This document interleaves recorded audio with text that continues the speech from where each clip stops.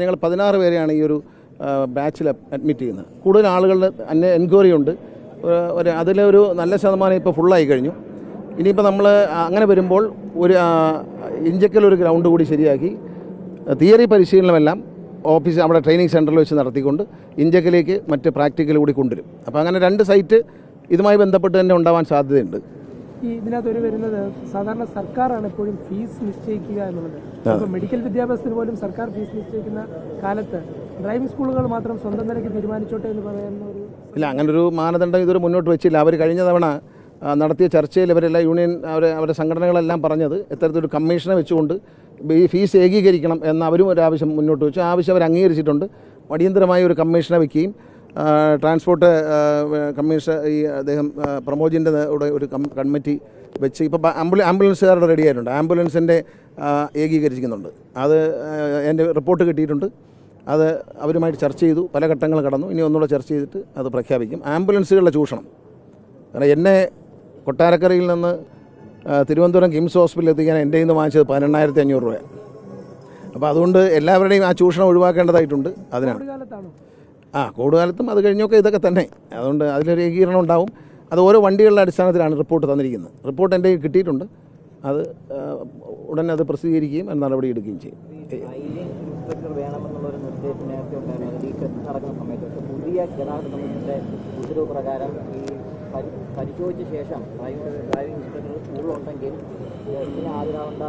ഇറക്കിയിട്ടുണ്ട്. അതായത് trade trade union നേതാക്കളുമായി നടത്തിയ സംഭവം ഇന്നലെ സി എ ടിയുമായി നടത്തിയ ചർച്ചയിൽ അവരൊരു ആവശ്യം എന്ന് പറയുന്നത് ഈ ഡ്രൈവിംഗ് ടെസ്റ്റ് നടത്തുന്നിടത്ത് ഇൻസ്ട്രക്ടർ പറയാൻ ആദ്യം സമ്മതിച്ചതാണ് എല്ലാവരും അതിൽ ഒപ്പിട്ടും തന്നിട്ടുണ്ട്. പക്ഷേ എന്നാലും ജനാധിപത്യമാണല്ലോ അപ്പോൾ തൊഴിലാളികളുടെ സംഘടന അവരെ ഒരു സംഘടനാ തലത്തിൽ പറയുമ്പോൾ മാന്യമായത് കാണണം എന്നുള്ളതുകൊണ്ട് ഒരു എക്സ്ക്യൂസ് കൊടുത്തതാണ്. സത്യത്തിൽ നിയമത്തിൽ പറഞ്ഞിരിക്കുന്നത് നിങ്ങളത് എടുത്ത് നോക്കണം. ഞാൻ വെറുതെ പറയുന്നില്ല മോട്ടോർ വെഹിക്കിൾ ആക്റ്റിൽ പറഞ്ഞിരിക്കുന്ന ഒരു സ്ഥാപനത്തിൽ ഓരോരുത്തർക്കും പുരുഷന്മാരെ പഠിപ്പിക്കാൻ പ്രത്യേക ഇൻസ്ട്രക്ടർ സ്ത്രീകളെ പഠിപ്പിക്കാൻ പ്രത്യേക ഇൻസ്ട്രക്ടർ അങ്ങനെ അങ്ങനെ ക്വാളിഫിക്കേഷനുള്ള ഇൻസ്ട്രക്ടർ വേണമെന്നാണ്. പക്ഷേ നമ്മളൊരു ആനുകൂല്യം ചെയ്തിട്ടുണ്ട്. അത് അതിലൊരു മിസ്മരിക്കുകയാണ് അഞ്ച് വർഷം ഡ്രൈവിംഗ് പഠിച്ച അറിയാവുന്ന ലൈസൻസ് ഉള്ള ആർക്കും പഠിപ്പിക്കാമെന്ന ഒരു അവസരം കൊടുക്കുകയാണ്.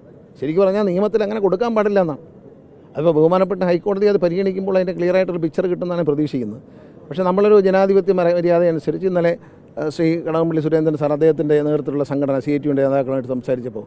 പക്ഷേ അവർ തീർത്ത് പറയുന്നത് അവരുടെ കയ്യിൽ പിന്നെ ഇൻസ്ട്രക്ടർ ഉണ്ടെന്നാണ് പറയുന്നത്. പക്ഷേ ഏതായാലും ഒന്ന് പരിശോധിക്കാൻ തീരുമാനിച്ചു. അതുകൊണ്ടാണ് ഉടൻ തന്നെ എല്ലാ സ്ഥലത്തും പരിശോധിക്കും. അവർ ഇൻസ്ട്രക്ടർ ഒരാളെ രണ്ട് ഒരാളെ വെച്ചിട്ട് പതിനഞ്ച് ഡ്രൈവിംഗ് സ്കൂൾ നടത്താൻ നോക്കില്ല ഒരു പതിനഞ്ച് ബ്രാഞ്ച് നടത്താനാകില്ല ഓരോ ബ്രാഞ്ചിനും ഓരോ ഇൻസ്ട്രക്ടർ വേണം. കാരണം എന്റെ അറിവ് ശരിയാണെങ്കിൽ പതിന കാസർഗോഡൊക്കെ അങ്ങോട്ട് ചെല്ലുമ്പോഴേക്കും പതിനഞ്ച് ഡ്രൈവിംഗ് സ്കൂളിന് ഒരു ഇൻസ്ട്രക്ടറാണ്.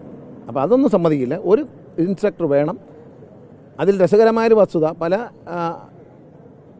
ഡ്രൈവിംഗ് സ്കൂളുകളിലും ഈ ഫാർമസിയിൽ തൂക്കുന്ന പോലെ ഫോട്ടോയും ലൈസ പിന്നെ ഡിഗ്രി സർട്ടിഫിക്കറ്റും വെച്ചിരിക്കുന്നവർ പലരും ഇന്ന് മോട്ടോർ വെഹിക്കിൾ ഡിപ്പാർട്ട്മെന്റിലെ ഉദ്യോഗസ്ഥന്മാരാണ് എന്ന ഒരു കാര്യമുണ്ട്. അവരറിയുന്നില്ല. അവരുടെ സാധനം ജോലി കിട്ടുന്നതിന് മുമ്പ് അവരിങ്ങനെ ഒരു താൽക്കാലികമായി ഇത് കൊടുക്കുക അതിനൊരു ഒരു ഫീസ് അവർക്ക് വീട്ടിൽ കൊണ്ട് കൊടുക്കും.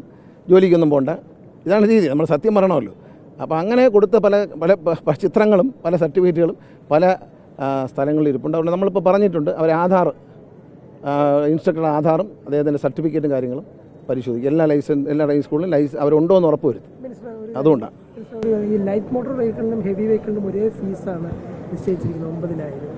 അല്ലേ? അതിനകത്തുള്ള കാര്യം എന്ന് വെച്ചാൽ ലൈറ്റ് മോട്ടോർ വെഹിക്കിളിലാണ് പഠിക്കേണ്ട കാര്യങ്ങൾ അപ്പോൾ ഒരു ലൈറ്റ് മോട്ടോർ വെഹിക്കിളിന്റെ ലൈസൻസ് ഉള്ള ആളിന് മാത്രമേ ഹെവി എടുക്കാൻ പറ്റുള്ളൂ.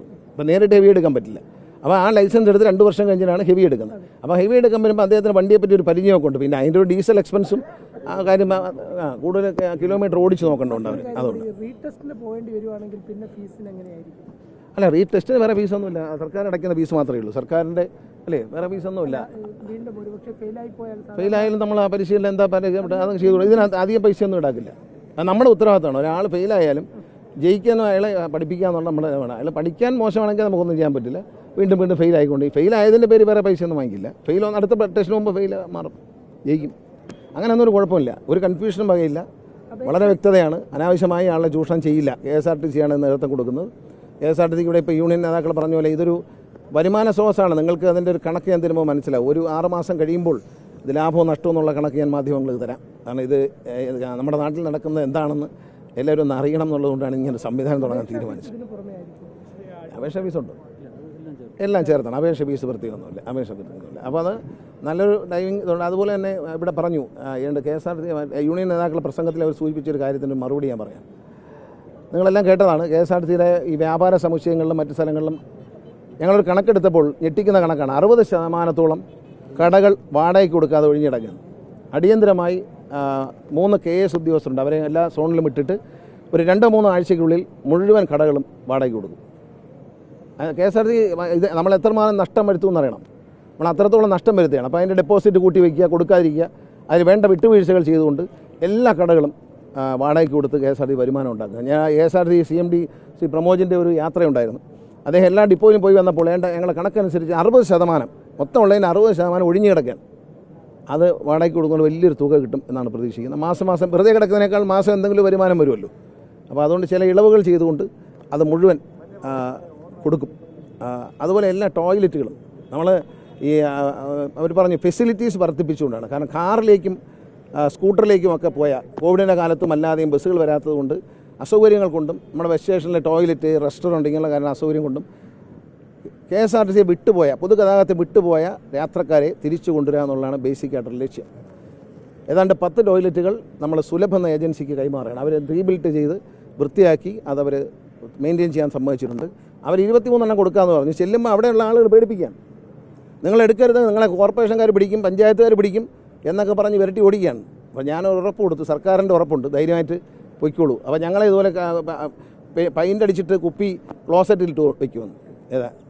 അത് ഈ വൃത്തിയാക്കുന്ന കെ എസ് ആർ ടി എന്ത് കിട്ടുമെന്നുള്ളതല്ല അതിൽ ഒരു ഫെസിലിറ്റി വളരെ മസ്റ്റാണ് നമ്മൾ യാത്രക്കാർ പലരും ഭയന്നാണ് കെ എസ് ആർ ടി കാരണം ഒരു ടോയ്ലറ്റിൽ പോകേണ്ടി വന്നാൽ ഈ ടോയ്ലറ്റിൽ കയറേണ്ടി വരുമല്ലോ എന്ന ഭയം യാത്രക്കാരെ അകറ്റിയിട്ടുണ്ട്. അതുപോലെ റെസ്റ്റോറന്റുകൾ എല്ലാം നവീകരിച്ച് ടെൻഡർ വിളിക്കും. ഏതാനും ദിവസങ്ങളിൽ ടെൻഡർ വരും. റെസ്റ്റോറന്റ് നടത്തി പരിചയമുള്ളവർ ക്യാന്റീൻ നടത്തിയല്ല കേരളത്തിന്റെ രണ്ട് ജില്ലകളിലെങ്കിലും റെസ്റ്റോറന്റ് നടത്തി പരിചയമുള്ള സ്വന്തമായി ഒരു അഡ്രസ്സുള്ള ടീമിനെ കൊടുക്കത്തുള്ളൂ. അതാണ് ടെൻഡർ വ്യവസ്ഥ.